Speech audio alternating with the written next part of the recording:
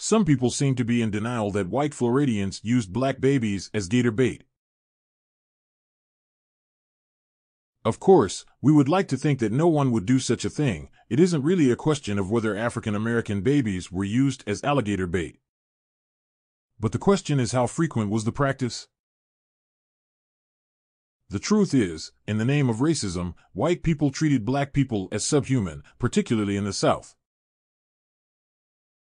Using black babies as gator bait was a blatant attempt to terrorize black people, which is why so many postcards and artifacts remain.